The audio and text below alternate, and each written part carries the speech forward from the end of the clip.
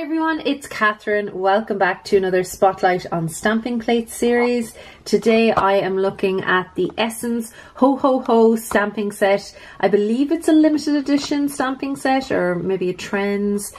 I had to order mine from Cosmetic for less because it's not in shops here yet.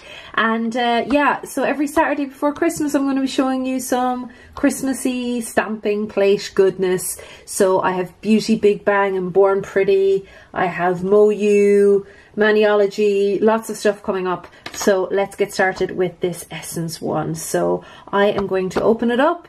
Okay, so just opening it up here uh, I had to cut my way in. Let's see how easy. That comes out pretty easy. So we've got our stamper in here.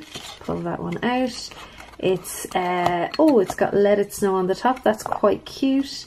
It still has the solid bottom and it has ho ho ho here. I found that with my other Essence stamper, this kind of wore off after a while.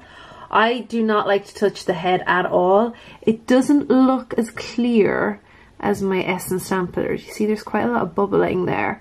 Um, I hope that doesn't affect how I see things. It shouldn't.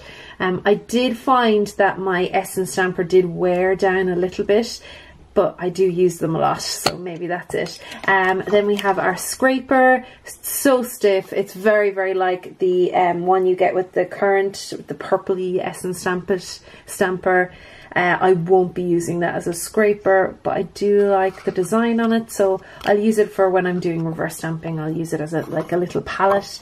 And in general, I really like the packaging. I'm not sure if we need any more plastic, but anyway, um, I do quite like the fact that they have all of the designs from the plate on the outside. And here is the plate. This looks a bit longer than the um, yeah, it's not the same size as the other Essence stamping plates. They are about this size and a little bit wider, so they've kind of gone up instead of across, I guess. And uh, yeah, so here we've got ho ho ho, snowflake, a little kind of cupcake, just a reindeer face with some antlers, let it snow, Christmas tree, nice little snow globe, a star, a reindeer here or a stag, some hearts, a Santa hat, love, a little kind of traditional motif. We've got a star and a wreath, some stars here, a Christmas present, a bauble. This says, oh my dear. Uh, we've got a snowman, a candy cane, joy, some little mittens, a bow and a little wand. So it's actually it's like half Christmassy, half not. So that's quite good. So if you're not into the Christmas season, that is quite good. So the first thing we need to do is take off this um, plastic sheet. Again, I try not to touch the plate, even though I still will probably clean it. I try not to touch it if I can help it at all. So you get a better look at the stamping plate there. And what I will say is that there's already a number of scratches on it. So just make sure that when you peel off the plastic that it is off because I know sometimes or I know some people the last time had a double layer of plastic on it. So I am going to clean the plate with some acetone not sure where that bit came from. Clean the plates with some acetone and then stamp all the images in black using my Born Pretty Black it's my best stamping black and um, I'm just going to stamp them onto the lint roller using the stamper from the pack. I do use a lint roller. Just people were asking me how do you clean your head. A lint roller, that was uh, Margaret Joder told me that a long, long time ago. That was already on the lint roller. It wasn't on the stamping head, don't worry. Even though it's just brand new out of the box, oh, no harm to run the lint roller off it or some tape if you have some um, masking tape or something like that. I'm also going to treat the um, the plate with some acetone. You can use a claw like this. Sorry, my thing has fallen down here. This is getting good use. But can use a claw like this and I don't have any cotton buds at the moment so I usually just like scrunch it up like that. Then I get put some acetone on this and then I'll just give the plate a good clean. That is pure acetone that I use. Um, now what I will say is sometimes you'll get a little bit of cotton. So what I like to do is grab some lint-free tissue and just quickly do that. It's important that it's lint-free, okay? Not like toilet tissue, like actually like proper tissue. All right, so we're all ready to go. So as I said, I might play a little bit of Christmas music while I do this and have some fun. So uh, you can follow me along and I can give you my final thoughts afterwards.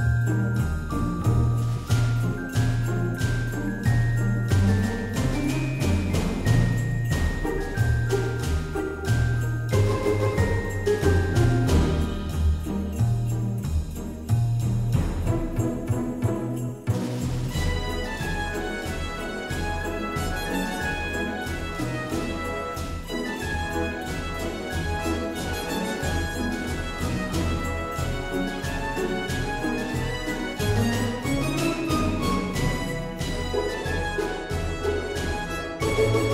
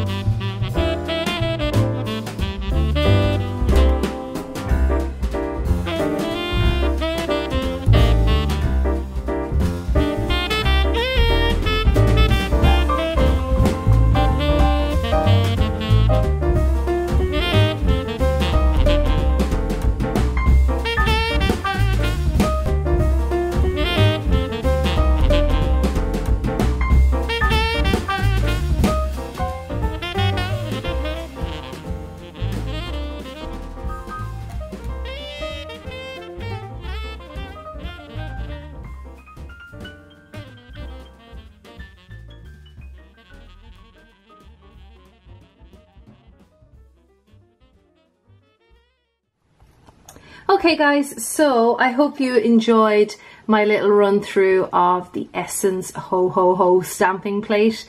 Uh, I'm very impressed with the engravings of the images. It's all really, really nicely done.